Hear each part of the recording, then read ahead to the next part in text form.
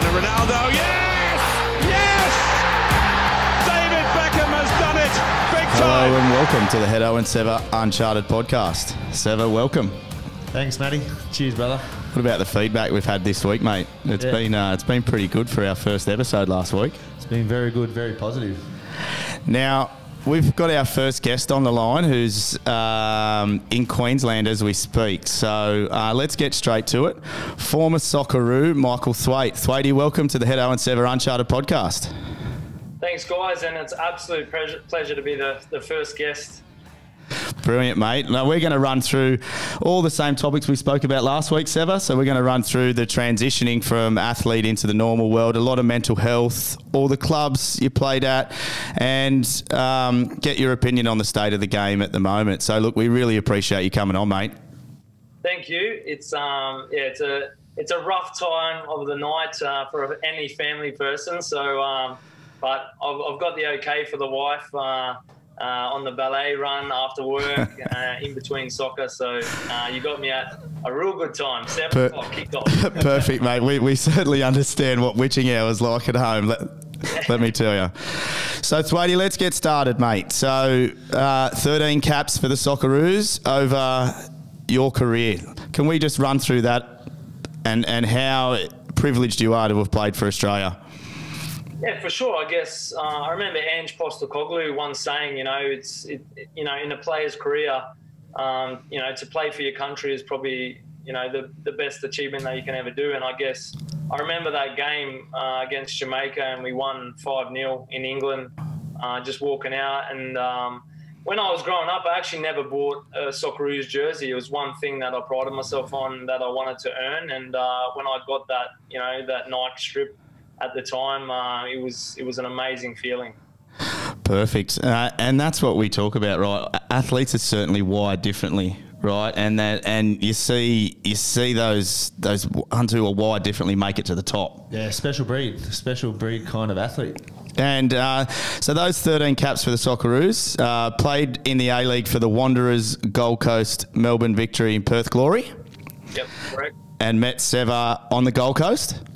Yeah, that's right. Um, in in the third season of Gold Coast United, unfortunately, the last season because hopefully uh, now it'll be a different story. Now that I'm playing um, at a semi-pro level and the club's you know doing different things how it used to be. But yeah, it was a pretty crazy season for us um, to, to play and, and for our families, you know, young families. And then also played overseas in Romania, Poland, Norway, and then finished your overseas journey in China. Yeah, I mean, yeah, going to those Eastern European com- countries was like very different. I grew up in Cairns uh, until I was 18, so it was about plus 30. And, you know, during winter, those countries got to, to minus 30. So, uh, yeah, a little bit different than the far north, I think. And I asked Seva this last week as well. Did you find it hard going over there and playing football, like coming from Australia, then going over to those European countries, getting used to the cold and all that sort of stuff? I think for Australian players at the time, um, you know, there was a handful of players that really um, set the tone for, for overseas. You know, including Frank Farina, uh, Jordan Kosmina, those those players um, back in the day who are now coaches. But the NSL finished in in, in 2004, and uh, after playing two years for Marconi, and and it was a real you know question mark over people's career. Like most I think even I had the chance to go back to state league, but I really wanted to, to make it over in Europe and uh, went on a few trials, and that was a real eye opener. You know, I guess when we when we bring foreigners here, we you know we we, we put the red carpet out, we, we treat them with respect, we show them houses, but then you know in my first trials, I remember in France, I went to Auxerre, which is one of the best. Um, development for youth players. I remember my first 5v5, I got elbowed in the lip off the ball and you know I was crying and, and talking to my, my family overseas and you know had a couple of failed um, trials um, over there before finally going to Romania via um, via, DVD. He was just doing well in the under at the under 20 World Cup and uh, gave my DVD to John McCain to give to his Romanian coach and which ended up being a, a blessing um, where I signed a two-year deal in Romania at National Bucharest with um, three other Australians. And did that help you settle in there, having three other Australians at the time? Oh, for for sure. Like um, we felt we were living like kings. You know, like I was single at the time. Um, you know, getting up to mischief, of course. um, but you know, like you know, we were living at the hotel in the stadium, and you know, as as so you know, like in Italy, and it's it's the same sort of thing. Um, the culture is so set where you know you don't have to pay for anything. You know, the taxis are cheap there. You roll out of bed, you go on a training um, everything's done for you. So, and, and living with those Australians, as you said, um, makes it so much easier. And, and that's how agents work. You know, they might put a couple of players together just to feel uh, comfortable and make um, the stay easier because it's, yeah, different climates, different language, different food, away from family, uh, time zone. There's so many elements against you. And I guess that's, that's where the top players can have a long career there. Like, unfortunately, I, I only played um, just over four seasons in Europe, and then obviously one in China later on. But um, yeah, that that's that's the difference between making it over there and not. It's it's great insight, right, Seva? Like on on you and I have had that conversation as well on on how hard it was living overseas, living in those countries. Like you said last week, different food, just Oh, different yeah. facilities. Like you're not living in, you've got to find your own bed. Like you've got to get used to everything again. Yeah, I, I didn't. Um, I didn't get the, uh, the the elbows to the face or anything like that. To be honest, I was. I went over there and uh, I was pretty much wrapped in cotton wool. To be honest, it was it was an easy transition for me. But then once you start finding your feet. They know not to throw the hard stuff at you straight away. Then once you know you start learning the language, understanding the players and that, uh, then they then they start testing you and that's what I found. I found yeah, 'cause I, only, I went over at seventeen, so yeah, I wasn't I wasn't an adult, I wasn't a kid, I was in that that, that in between sort of a stage. So I went straight into the youth team and then into the first team six months later. So it was one of those ones where it was good, but I didn't get a hard period for a long time. Eh, I sort of got the respect straight away. So And uh, I, Thwaitie, I asked Seva last week, was it a real eye opener about training and facilities in comparison to Australia? Oh, for sure. I remember when I transferred to, to Poland at Wisła Krakow, this is the top team.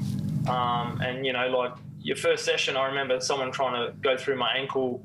And then what I learned, you know, from my trials in France and then obviously my time in Romania, just develop, you know, a, a tough skin, you know, not to react. And then obviously to associate yourself with maybe the better players there and, and surround yourself with those good people. But I remember some of the, the pre seasons with Dan Petrescu, who was a fantastic player in Romania and, and, and in the EPL.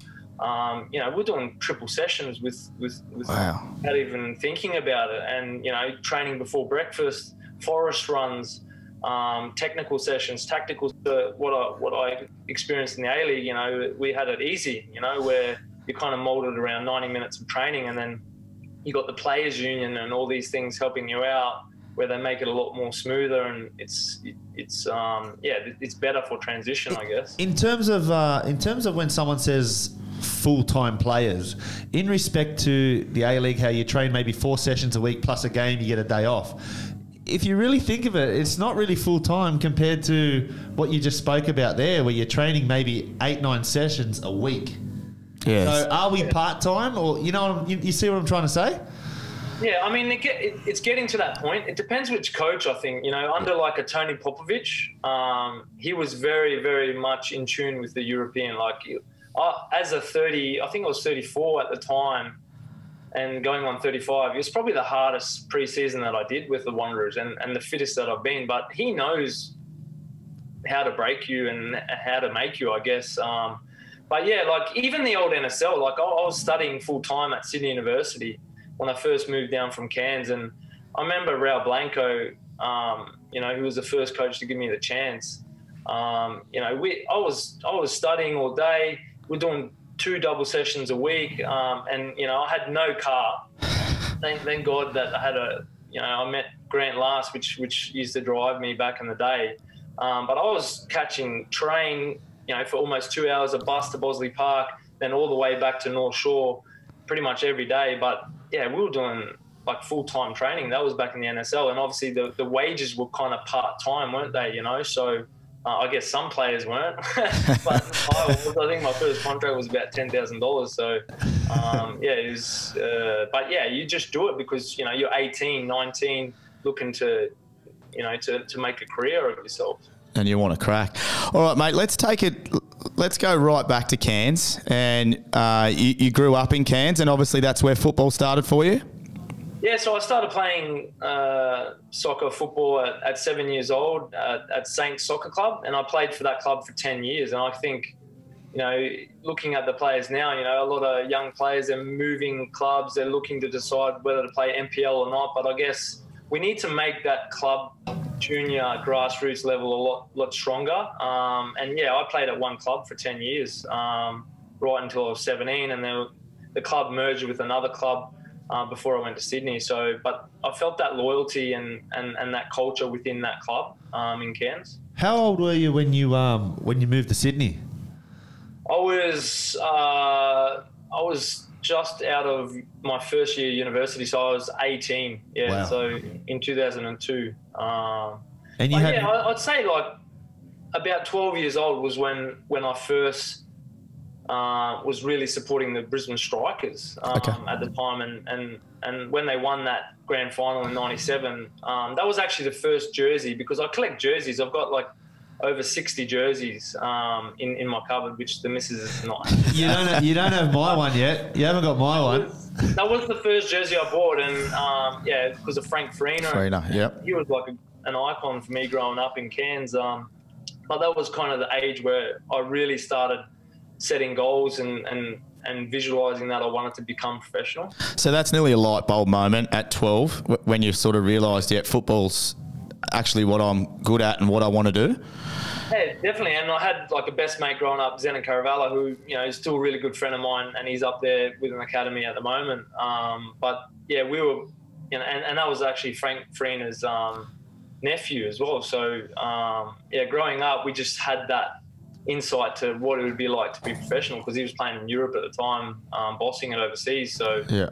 Is it, um, is it, is it fair to say that your career pretty much started at 12 years old? I touched on it last week saying that I felt at six years old I knew what I wanted to do. I said it as an unplayed, unpaid player as a joke, but is it fair to say that your career really didn't start when you came to Sydney?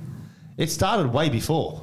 Uh, look, Sydney, I, I, knew that if because I saw a lot of talented players growing up in Cairns, far north Queensland, and I knew um, as soon as because I was out of the QAS system, you know, 14, 15, 16, and then I had to make a decision. I remember they didn't have funding or with Gary Phillips in, in Brisbane, and and then I had to make a decision either stay in Cairns or, or take the punt. And it was actually through uh, one of um, Raul Blanco's uh, friends that that scouted me at a game at Sydney University when when I first moved, and I was playing against uh, Fraser Park, and um, Raul was actually looking at Daniel Schwarzer, which is Mark Schwarzer's brother. brother. And so that 90 minutes changed my game. Like, and then he invited me to come to Marconi, and but without that performing in that 90 minutes, um, you know, who knows where I would have been in Sydney. If it's one of those, um, it's one of those right place at the right time. Let's just say you didn't play as well, or the night before you've rolled an ankle. It's just, yeah, it's, it's just crazy. Timing. Timing, yes, exactly. Football's all about timing. Now, I've got uh, 2002 was your Seva and Thwaitie's first encounter. Now, do you want to tell us the story, Seva? Because I know you're pretty excited about it. Yeah, yeah. So, uh, I must have come back from a season overseas, and uh, there's a, there's a I think you mentioned him earlier, Grant Last. You ended up living with him in North Parramatta, closer yeah. for you, correct? Yeah, definitely.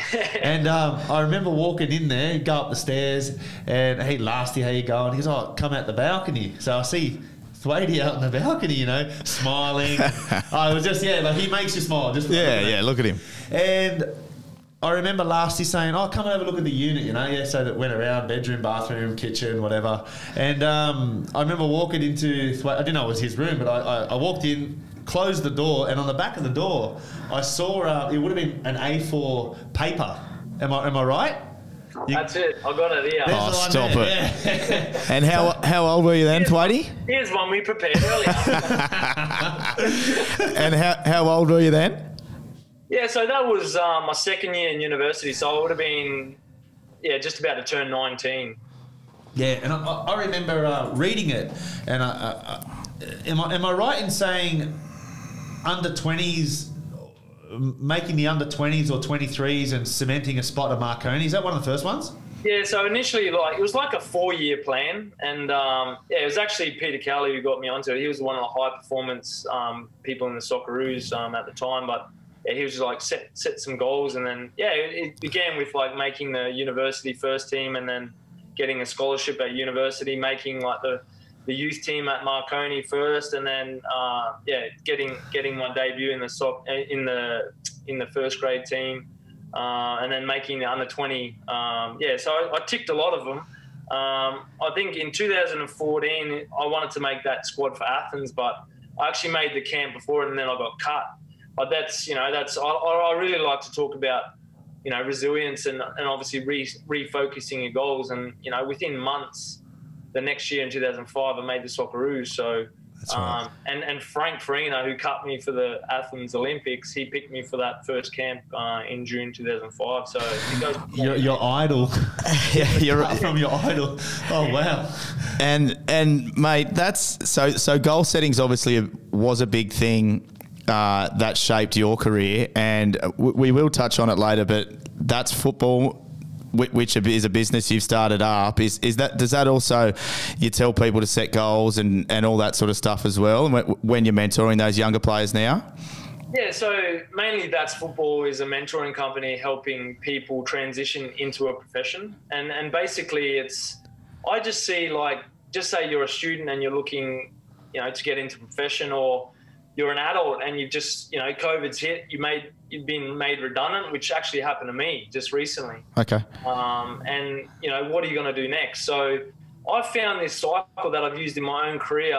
It, it can actually work to help transition. So basically, I've got like six topics where it's like learning about your values and introducing yourself, and you're making your first impressions. Then like goal setting, like setting goals for for that workplace or team or whatever and then obviously you become you mold yourself into a leader and and talk about leadership. Obviously with leadership and goal setting comes failure like i talked about with athens and and not making that. And then obviously when you're failing you go through mental health. So that's another section.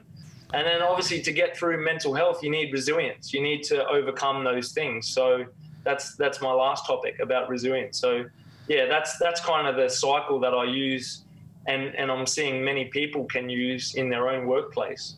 Yeah, perfect. And, th- and that's where a team environment comes from, right? You've been in a team environment what since you've basic your, your, whole career, and and you've taken all that out and put it into a purpose on how to help other people as and you're moving forward doing that, right? Yeah, and it's it, it, it's an emptiness. It's it's you know like when I when I first came out of profession professional football and then going into semi-pro and then you know this year probably molding out a semi-pro.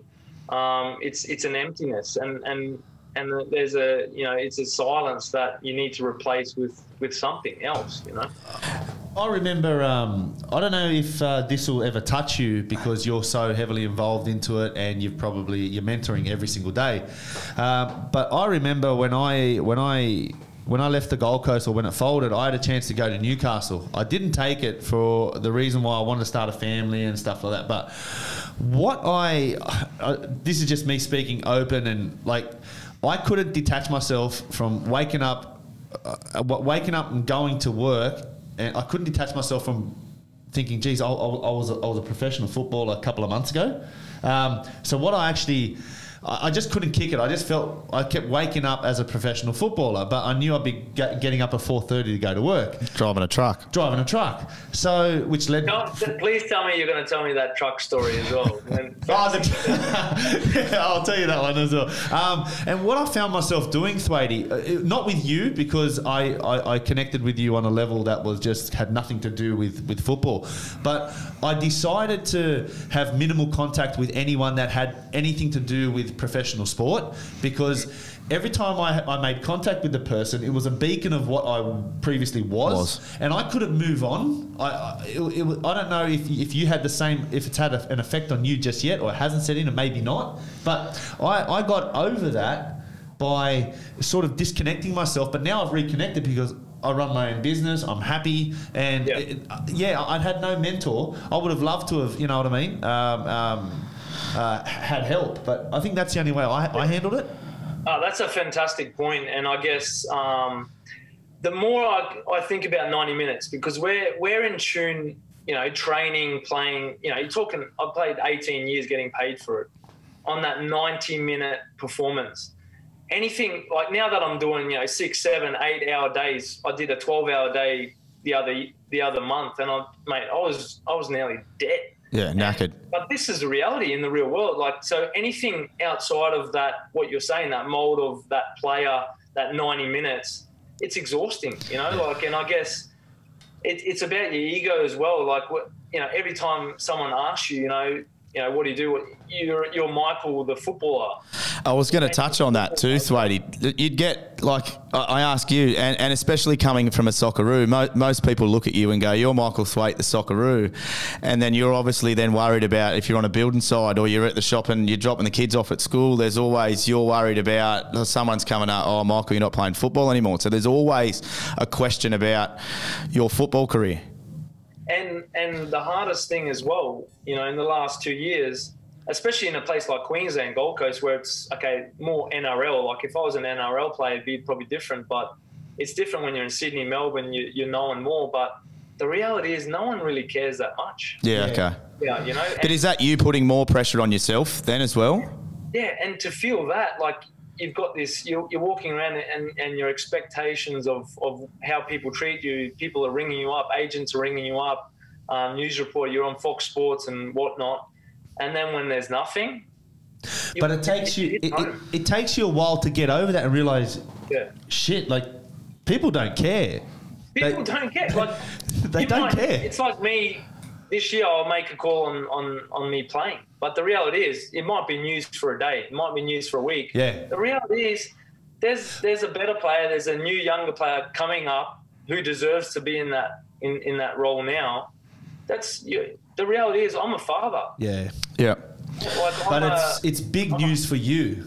Yeah, you, that's per, right. like you said, 18 years. Yeah. But you know, you, you you announce it on a Tuesday, and by Thursday, Friday, Yeah, it's- you get calls and that. But then Monday comes, and you're yeah, no Yeah. one cares. You're eh? back working That's full time. biggest- that's my biggest key tr- to transition, and you know, regardless of what my company does, or if you can find, I've, I've actually started working out since I was seven. Like you got what you're saying, what your values are, your family values that you've learned, and your personal values. So for me, I call it the three C's. So every day that I wake up, as long as I'm committed, communication, compromise, and element of surprise. So I work on those those values that I've, I've created for myself, and as long as I align that with the place that I'm working with, the club that I'm playing with, the person that I want to relate with, I think you'll you'll you'll That's pretty get good. through that transition. Mate, it's, But- it, it's great advice. Hey, can you send me a text after with that? That's awesome. It's advice. easier. It's and, and it's for relationships as well. You know, like if, Yeah. if you want that relationship to work, you know, you know, you need those C's to be working. You know, and the same on the pitch as well. You need to be talking. You need to, you know, if you make a mistake, you need someone else to compromise for you. You need if you you need to be committed to a tackle or whatever. It, it's and and surprise. Like, what are you going to do extra for the team? What are you going to do extra for your wife? Are you going to give her flowers for Valentine's Day? Are you going to give her, you know, like Did you give her That's, uh, flowers? wow.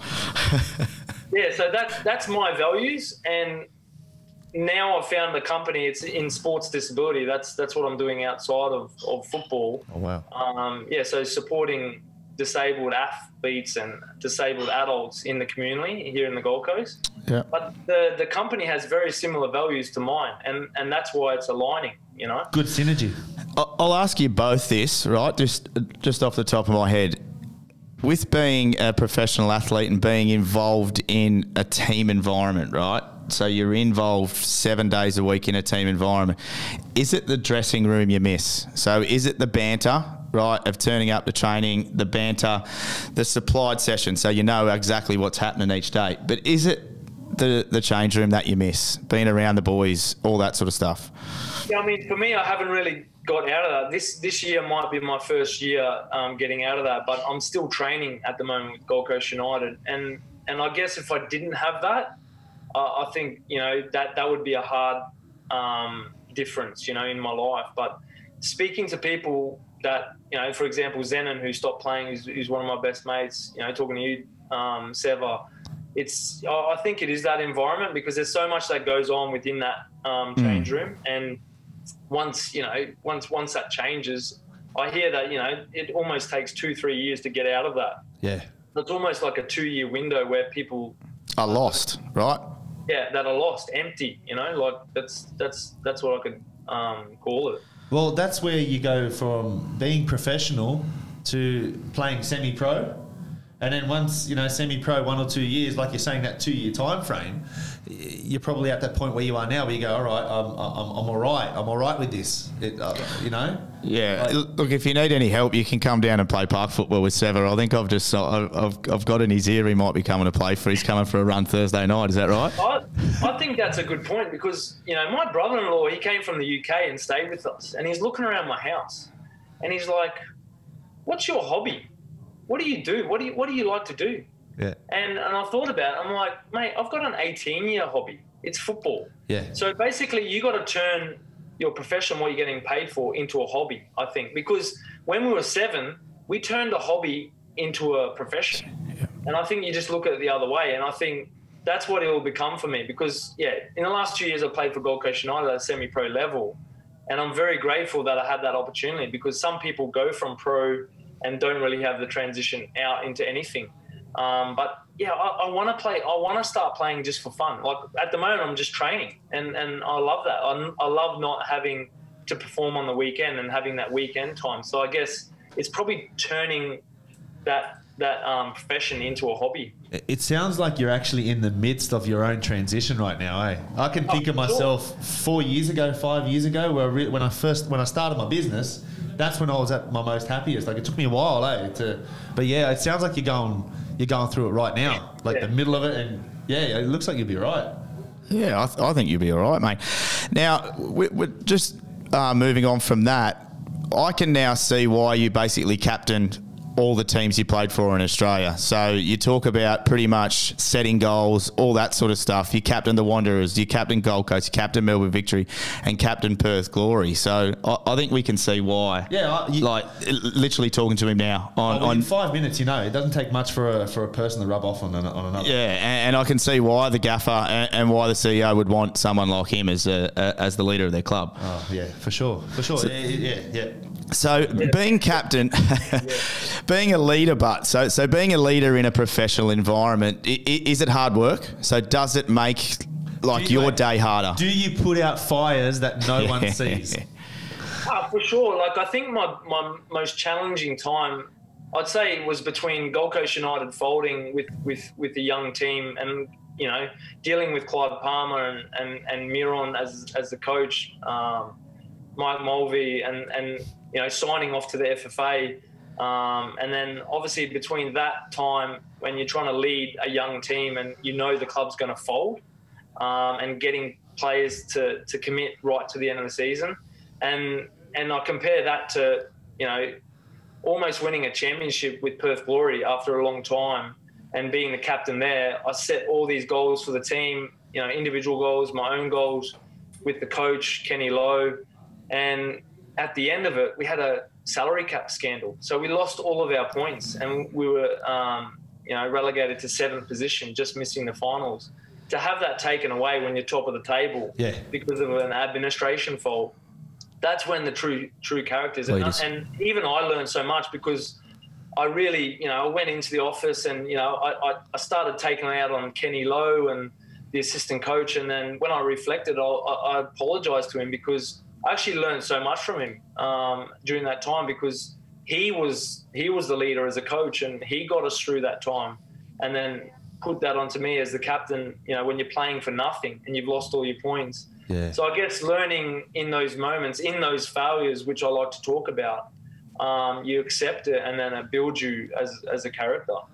That's perfect. Let, let, us talk about a couple of failures then. I've got written down here, obviously, you're a squad member of, of three World Cups, is that right? But didn't go to. Yes, I qualified for three World Cups. Um, That's not a failure in my eyes. No, no, but he talked about it before how he picks himself yeah. up and goes again. Oh, so not, right? Not hitting the goals. Hit you, okay. Yeah, so not hitting yeah. the goals. So, yeah, so unfortunately, I didn't yeah, go to one World Cup, which, um, yeah, but look, the more I think about it, one game for the Socceroos, I probably could have died a happy person. Yeah, and and all of us would have. Oh, mate, certainly a lot of us would.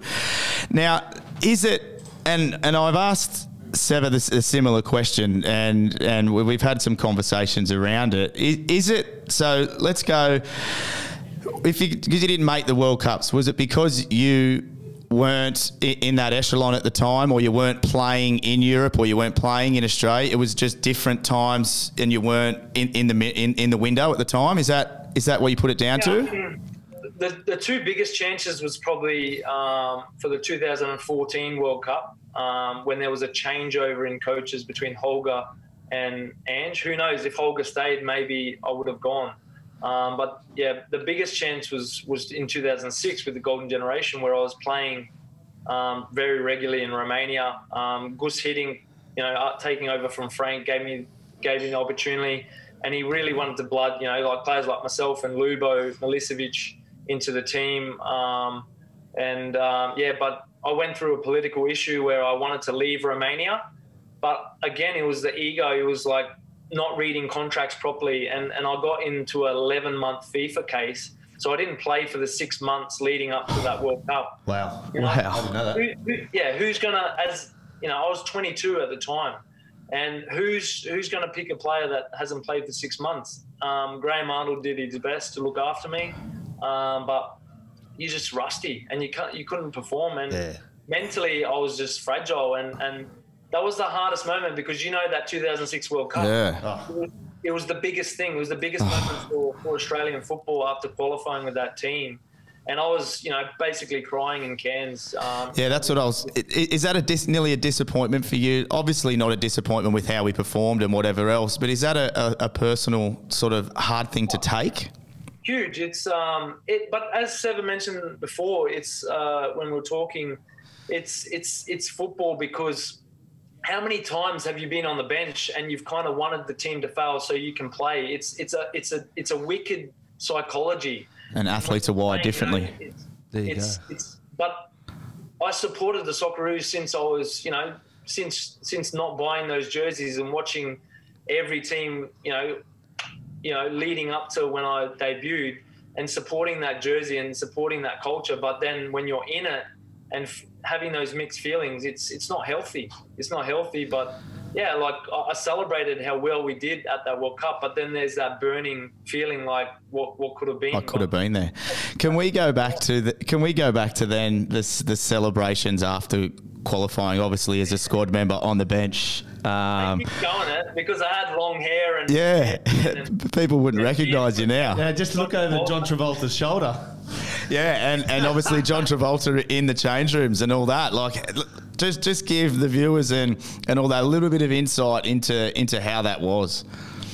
Oh, look, after the game, I just remember because you know I grew up, you know, supporting those players in that change room and and just being part of that, you know, qualifying for the first time in 32 years. I think it was just a relief for everybody.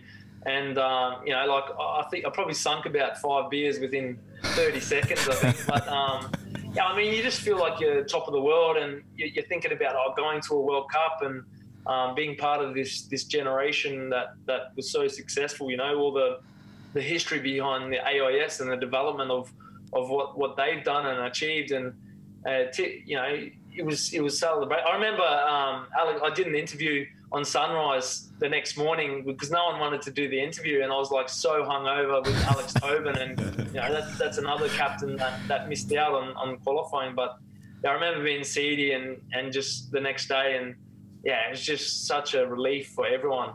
Everyone felt the boost of that World Cup, eh? Like oh, that, mate. That, qualifying, like, we needed it and it came at the right time. It, it, we didn't just qualify against uh, Iran or something. It was it was Uruguay. It was a great team. It, it was an absolute quality team. Can you give us a bit of insight then into into Gus Hiddink and and what he did for that team, and and i- is he as good as everyone says he is? Yeah. I'll give you an example, right? Um, after my first game against Jamaica, um, you know, I was buzzing. We won 5 0, just had your first game for Australia. And he pulled me aside and he showed me a clip. So Graham Arnold was there as well, got him to do the DVD um, at the time. And then, um, yeah, he was slow mo, like he put it on slow motion during corners. And I had long hair and a hairband, right? And he paused it and he said, what can you tell me about this? And I said, what do you mean? I'm, I've got goal side. I'm looking, I'm good position. You know, I was 21, 22 at the time. And he's like, look what you're doing with your hair. You're fixing it up. Against a better team, they're going to punish you. If, if you concentrate on your hair, Yeah. he's like, next camp, cut your hair. And, uh, Really? So you pretty much said you're coming in, but cut your hair. yeah, cut, cut your hair. And so what I did, like I did the dumb and dumber thing. I just went like this. The bowl. And the boys were Oh, shocked. Dear. I, I left like a whole mullet and just cut it. And and Gus looked at me the next camp. Uh, he's like, mate, what are you doing? And I remember telling him the story because we had the 10 year or 15 year anniversary after qualifying. And Gus came back and I said, do you remember about the DVD? And he's like, yeah, I remember, but I was only joking. Really? yeah. Oh, Yeah, so um, yeah, but it, it goes to show the attention to detail. Basically, he um, in our first camp in Netherlands, um, because he was still coaching at PSV at the time. I remember it was the hardest training ever, and he just leveled the playing field. Did, didn't it doesn't matter if you're um, Tony Popovic, Craig Moore, um, you know Lucas Neill, Harry Kewell, Viduka. It's it, he leveled the playing field. Young, old, he had a massive camp, and you know he got the team fit. You know, I remember him talking to like Mark Viduka about losing weight, and you know the next camp he did, and everyone was on board. You know, so That's where you talk presence, eh? He can come Yeah, presence. And He can just yeah level playing field. You're talking players worth millions of dollars, big egos, Yeah. and yet uh, just for the common goal, you know, you'd, you'd fold for him any day because of what he'd done. yeah, he's just so prepared. And I remember like I I heard Arnie talking about on the the series they did with Fox, and the day before he knew like we did the the shape, you know, with Kewell on the bench, and um, you know he, he had a plan, and you know made us do penalties before. Like he, he just knew things. I guess that's. The coach, he's got the instinct, the smell. You know, it's it's just experience, I guess, at that level. Not everyone can be a coach, eh? No, no. Not everyone. I- I'm looking at you too. it's, it's, mate, wait till you see Thursday night. You, you are a different. I'm a different person coaching. It is the it is the hardest thing to do. Like to get 30 blokes up every week. It's it's especially the blokes that around us fair income. Um, Thwaitie, I want to touch on so like. Your, your company, that's football, is obviously helping people transition and all that. And I want to ask you about China, uh, and that's your last overseas destination. Am I, am I right with saying that? Yeah, so that was in 2016, and then yeah, I followed after that. I, I, went to West Sydney in, in 2017, 18. So um, yeah, it was basically two years away from my from my young family. Yeah, and and how hard's that for you then? And and obviously your wife and kids. That's obviously pretty like you're in another country, right? Playing football with your family back here. Yeah, I mean, I can't explain how hard it was. Like, you know, if I look at my hands, I can count the number of days um, that I saw my family in that year, and uh, I guess look, that's that's that's where it gets hard for me. And you know, I don't I don't actually get teary about this, but I've suffered anxiety, you know, severe anxiety my whole career, and it's something that I talk openly about in my mentoring. Um, but yeah, like there was one moment in the in China um, you know, where it really came to a head. I was, you know, I was, you know, I was on and off medication, um, and you know, I, I kind of was sorting that out at, towards the end of Perth. And um, but when you're when you've just tapped into you know psychologists and and whatnot, medication, and then you go to a foreign country like China where the climate's different, you're away from family, you're isolated, um, you're not on medication. Those things um, that are helping you, or you're initially trying to get you to a better place. There was this, uh, I think it was one of the biggest um, Hiltons in China, and I was actually looking out one day. It was before a game, and you know, I was I was really snowballing. You know, um, where I could feel you know that depressive state, and um, performing on the pitch no problem, but off off the pitch this was the problem. I was looking out, And in China, there's no real, you know, health and safety. And I looked across at the building, and we were 50 odd stories up, the biggest, one of the biggest buildings I've seen. Um, and I looked across, and there was these workers just hanging off the building, just unharnessed, not like in Australia, you know, where you need, you know, the the sign off and everything. And they were just like almost if, if you tip over, they'll they'll they'll die basically. And I'm sure it's happened in China. And I kind of zoomed in, and I was like, I I felt at the moment like that's me. Like honestly, I could either I was having suicidal thoughts, and and Wow. you know I, I had everything. I had everything. I had the finance. I had the wife, a house, car, career, everything. And to have those thoughts, I, I honestly just I, I ran to my phone and I just thought. I just ran rang Chantel, my wife, and I just thought I'm having these thoughts, and she's just like, "Get the home," you know, like what are you doing? But you know, I I signed two years in, in in China. That was only my first year during the time. Um, but I guess if you put yourself in that environment, you know, you can see, you know, like talking about mental health, you know, I think one in four um, Australians suffer from anxiety and, you know, one in seven depression. Over eight people commit suicide every day in Australia. Like, Wow. you can see, you know, that it can get to that level. And, and, you know, that's why I like talking about it because it was such a terrible time for me. And that's what we want to highlight too on this podcast, right? On like with our guests, exactly what he's spoken about. Can I? Uh, how how did you perform then on the pitch? Like with those thoughts, like you're training, you're, you're away from the family, but yet you put in on the pitch and you and you did everything that you were asked of. It's like, ha- to talk us through that.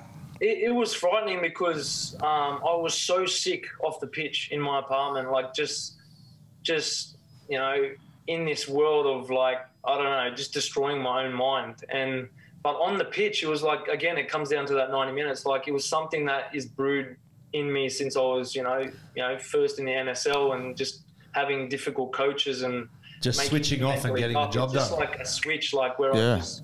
It's that white line fever, and honestly, it was one of the best seasons I've had. Like I, I had, you know, scored three goals. I was playing more of a defensive midfielder, which I probably should have played more of as as as a player. But but then to be so sick off the pitch, and you know, obviously I had um, James Trissy in the first six months, and then Dario Vidosic in the second. And when I talked to them about this, they, they, they were shocked. They didn't know because Wow. you know no one no one lets you know. You know when they are in those moments and Yeah. and thinking like that. And I guess you know Chantel took it all on herself. You know. And i- and is that who helped you get through then, Chantel? Obviously, you're on the phone to her a lot, I dare say. Yeah, yeah, for sure. Like when I when I when I came back from from China, and it was the end of 2016, so it started 2017. I was so sick. I, I saw, I basically saw a psychiatrist, which is the doctor of psychology, like the top level, like almost hospitalized. Um, but the funniest thing is, was like I was in this hospital and I and and we're going through the analysis and stuff, and she basically laughed at me. She's like, "What are you doing here?" And and and and that that moment kind of, and I thought, mate, it's right. I shouldn't be here. I don't need to be in the hospital. I'm physically, uh, I'm moving. I'm not like bedridden. I'm not, you know, it's it's it's just anxiety. And and I realized, you know, like anxiety is always going to be there with me.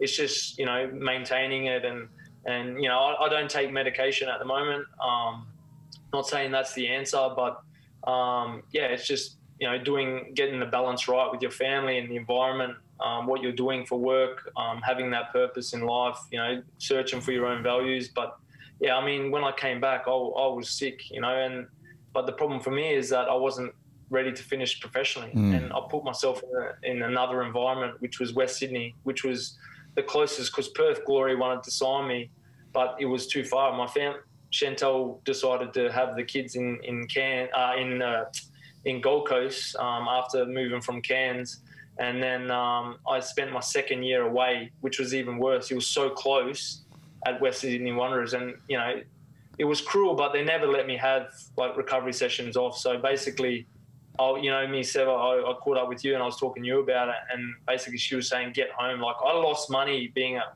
Western Sydney. I didn't make one cent. I lost so much money by how expensive it was in Sydney, living, my family living in Gold Coast, and then obviously traveling, you know, every three weeks, you know, on recovery sessions some days, trying to get back. And it was it was shambles, you know. So Just paying like just paying your own way home just to be able to see the family.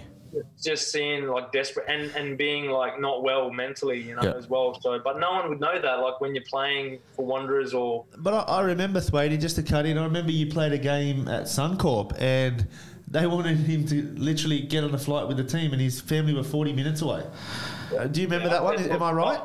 and and for me like and, and that was under Gombau um, Yeah. when, when he took over from Popeye. But um, you know, even like something like that, I was like, yeah, you know that I'm gonna do because I'm religious. You know, like even after trainings now, I still go in the pool. Yeah, and do your recovery. But like I, I do the right things. All I wanted is that recovery session off, and I know that I I recover better than you know 80% of the players anyway. See, back then, let's just say they thought Michael Thwaite will be mentally better if we give him two days off. Yeah, and You know what I mean? Like, it would have done you the world of good, the team world of good, but this and that's day a and age, yeah, and that's a good That's question. football. That's football. Yeah, and, and that's a good question, right? So I'll, I'll ask you this: Do you think now, in the professional environment, that football in this country is that they do enough for not the mental state of footballers? Like I know that there's a lot of footballers living away from home, especially young ones now in the A League post COVID. So there's a lot of young footballers. I don't know what they're earning. They might not be earning a whole heap of cash and all that sort of stuff. Do you think that at the moment football, like the head of football, are looking after these th- these younger players? Look, the PFA do their job. They, they do their job. They obviously the, the players are funding that. The the federations are funding that. The TV rights are funding it. Um, they do a great. You know, like they they're, they're pushing people into direction. But let's just say, you know, when when you have to go through it yourself, like to to you know you you, do, you go through an induction, which is better than the old NSL, and then they put you in a, an outduction. But then there's nothing. I think there's a huge gap in a network of of retired players or whatever people. Um, we, we need to connect with each other somehow because there's so many there's so many people lost out there. It's not funny. Like not everyone has a partner that you know has a job, a secure job when you're finished, or there's so much pressure, you know, with kids uh, when it, when it does end. Yeah. Um, but yeah, obviously, when you're in the environment, you know, they give you the study grants. They they they tick all the boxes. But it's I guess it's you know it, the the getting to professional and and out of professional. That's where the gaps are. I think so. I get. I guess that's what I want to help um, with with my own company. Like, obviously, I'm only one person, but there is a, a shitload of funding that that goes towards that. Um, and as Seva said, you know, like it's almost we, we say it's full time, but let's be honest, compared to Europe, it's it's probably not. It's you know? so, um, and and it's a great opportunity. Like post COVID, it's a great opportunity for the value of the A League has gone down, but um, you know the the highlight of this second division and MPL structure and um, it's it's all coming to a head. So It's like an, it's like they- they've nearly hit the reset button, and we're and we're, and we're all starting all over again. Yeah, well, we've been talking about it, but I guess you know, it's it's we need people to action. Like, Yeah. I, I think like the way forward would be maybe, you know, to like for me, like I'm associated with Gold Coast United, and, and I love the club. I've had a history with the club. I've played again for the club, but hopefully it's a long term thing. You know, where I'm involved, even if I'm not playing. Yep. But you know, like a lot of people, ex pros or whatever, they, they they say something, but they're actually not actioning. They're not helping a club for free or Yeah. not for free or you know, like I think it's about. There's so many players out there, and participation is so huge, but it's almost like yeah, you need to do your bit by action. I think that's the best thing about lead- leadership. Yeah, and uh, mate, it's v- very well said.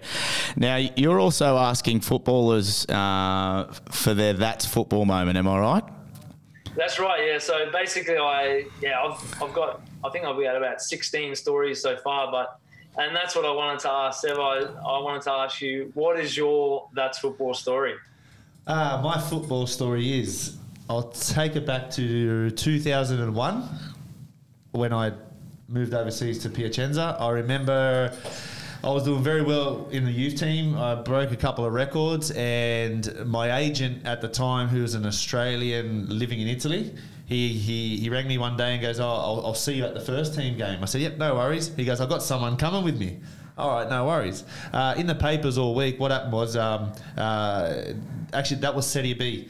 The, the the coach at the time was Novellino, and they pretty much in Italian they call it a blank check, where they say, "Listen, go buy who you want when you want. There's no, there's no problems of money. We need to go up. All right." So what happened was things weren't going to plan. They were sitting, I think. They were sitting maybe third or fourth. The first team were, and so my agent gets there and he goes, "Oh, come, to the offices," you know. And I go to the offices, and right in front of me was uh, Luciano Spalletti, who's coached Roma, Udinese, Inter Milan, uh, Zenit St. Petersburg. And I, I had no idea that my agent was his agent as well. So I said, "What's he doing here?" And he goes, "Well, the talk of the town is is uh, if if Piacenza draw today."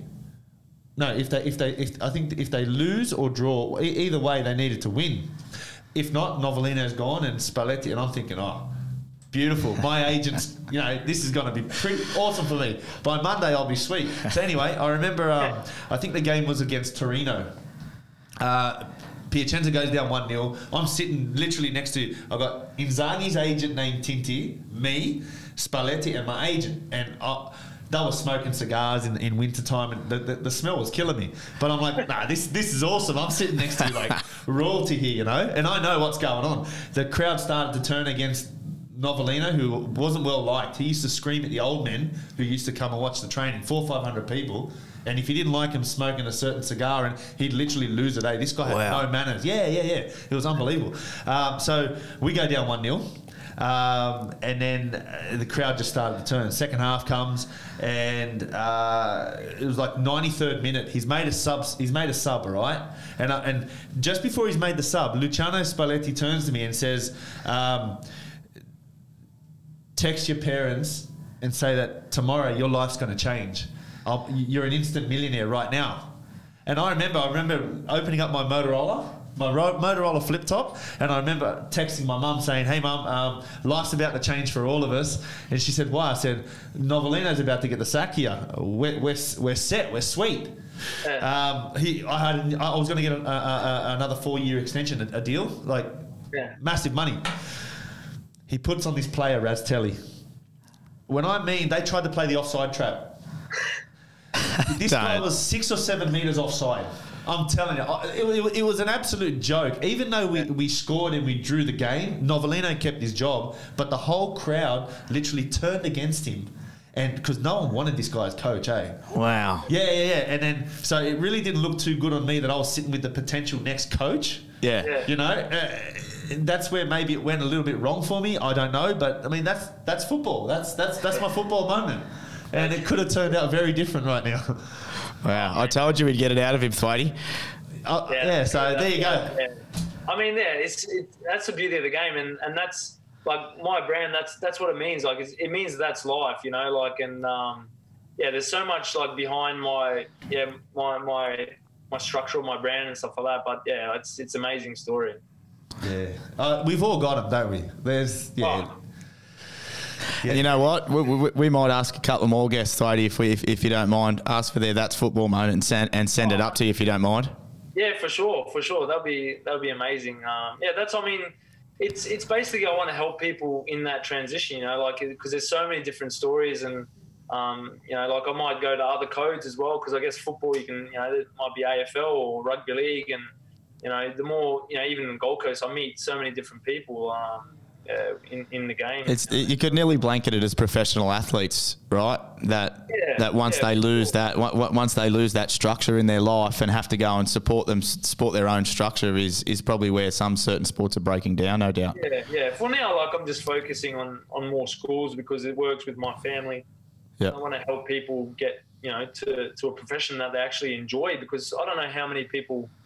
Um, you know, my first kind of role outside of pro, pro football, um, you know, a year ago was at an Orbits Elevators. You know, he was one of our sponsors, and I was in HR, and it was it was it was hard because it was a big company. I was stuck in a room, and it was just complete opposite to what I'm doing now in disability sports, uh, where I'm out and about and driving people around and doing sports and outdoors more more what I'm used to. You know, so I guess it takes time, as you said. I might take a couple of years to to find that. How good. Yeah, that's good. That's why a lot of our guests, for example, we've got Martin Lang coming on, which obviously we both know from our Gold Coast days. Um, we've got uh, we've got a couple of NRL players Yeah. and ex players and that. So every it, it you don't have to have you know football. It, it's all walks of life. You know whether it's in an organisation, mental health is the number one thing, isn't it?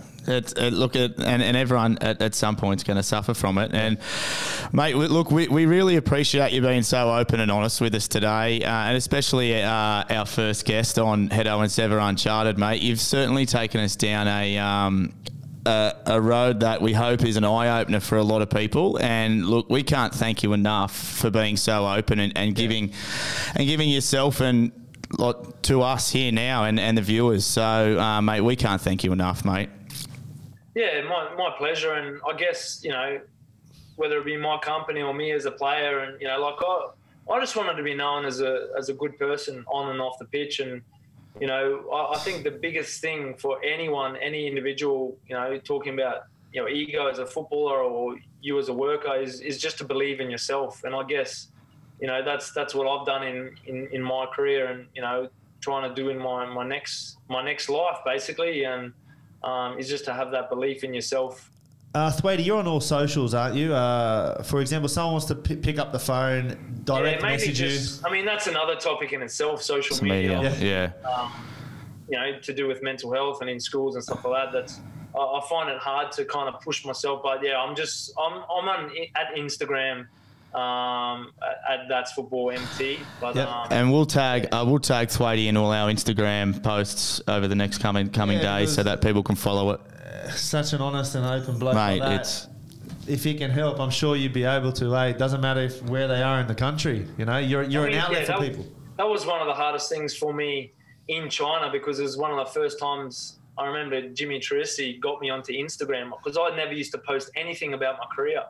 But all I was doing was on social media and it was just like in this wormhole of You got know, stuck. disaster, you know. Yeah. And uh, so that's where you know it's a bit of a you know I, I wanted to do it without any social media, but then how do how do you get the message out there? Yeah. everybody's on it, you know. So that's where I'm at, you know. So Yeah. it's, it's a balancing act, right? On on how much social media and, and, and where you need to do it. yeah, yeah. And I don't have yeah I don't have um, someone in an admin support that can that is good at it. It's just me, you know. It's your start of your business. You gotta you gotta tick all your boxes, you know. So Yeah.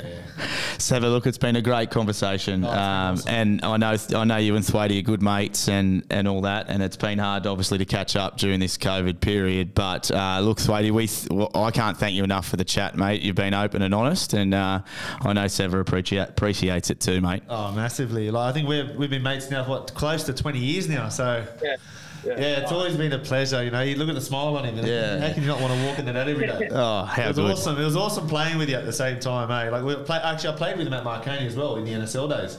Yeah. So So, Michael Thwaite, thank you for uh, your time on Heto and Seva Uncharted today, mate. Thank you very much. Yeah, thanks, Heto. Thanks, Seva. I appreciate it, man. Anytime, any anytime you need my support, you're doing great things. Um, I hope you go guys go well. Thanks, mate. Re- you, mate. Really appreciate it, mate. Keep in Thank you. touch. Seva, how good's Michael Thwaite? oh, it was brilliant. Eh? Exactly what we uh, I expected anyway. Yeah. Look, he's. I know he's a good friend of yours, and uh, I did say that throughout the podcast. But uh, we can't thank him enough for being so open and honest with us. Right? Exactly what we wanted our guests to do. Yeah, that's what we want. Like we just want transparency. Like we're here to give people a good listen and get the right people on.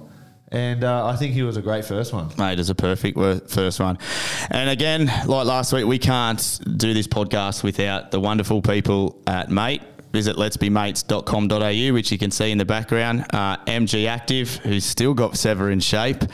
And the beer of choice for us at the moment is from Rusty Penny Brewing. So go and see them in, in Dean Place. And uh, also the planning station. Yeah, Maeve, she's got a beautiful company going there. And if uh, if you ever need any event planning and that, just uh, go on the socials, uh, the planning station. and Matty Clark at Little uh, Little Paper Boat Supply Company, who has helped us obviously get out with our logo, and we've got some air fresheners on the way, and also the best in the business, DS Tipping and Excavations, Yeah, mate.